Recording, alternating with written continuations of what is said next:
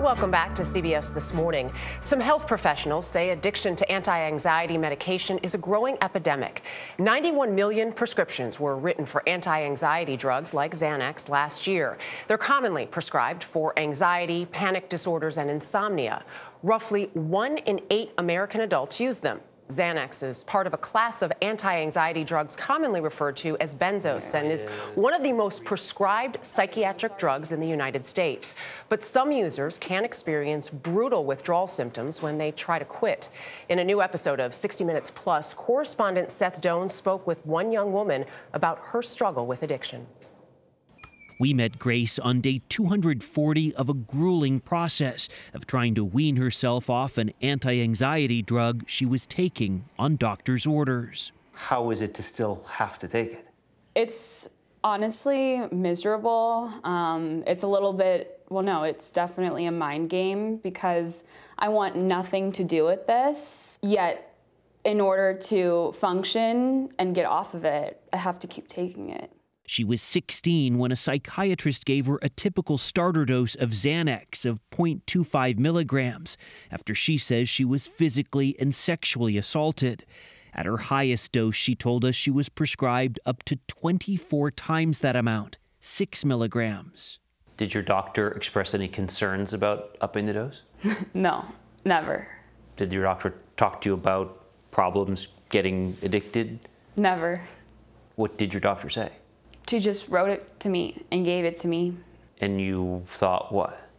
This doctor's trying to help me because my anxiety disorder is getting so much worse. So I must need what she's giving me. Grace told us her doctor also never warned her about the challenges of coming off the drug, what's known as tapering. What does it feel like to taper?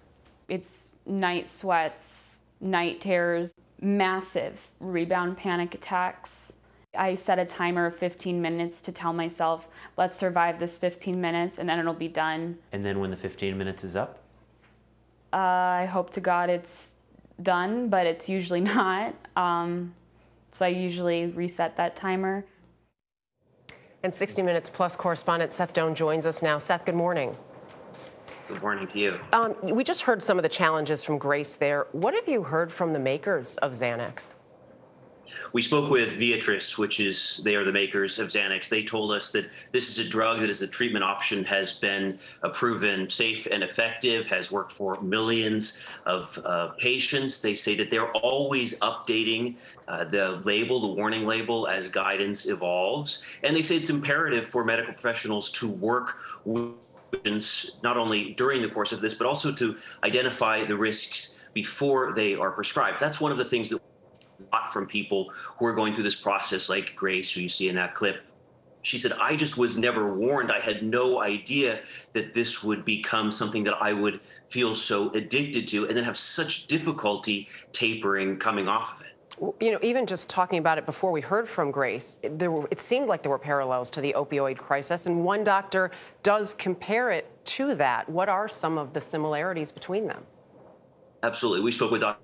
Anna Lembke, who's in charge of addiction medicine at Stanford, and she told us that she feels that she, she was one of the early warning doctors out there who were testifying and such, worrying about this, warning about this opioid crisis. And she said she sees a lot of parallels. And even though the, the highest number of prescriptions uh, for benzos uh, we're back in 2013, and there has been a slight downward trend. She says they saw that also in the opioid epidemic, where doctors prescribe this, and maybe there's an awareness of some of the risks. Those uh, prescriptions might go down a bit, but you have which is this chronic relapsing uh, issue where people are then replacing the drugs with something else. We spoke with Lil Xan. Uh, Lil Xan is a is a rapper. Xan is short for Xanax, and he at taking 50 times the initial starter dose, which of course he could not get.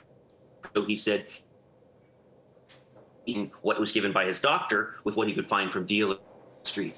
All right, Seth, thank you very much. You can watch Seth's 60 Minutes Plus report right now on the Viacom CBS streaming service, Paramount Plus.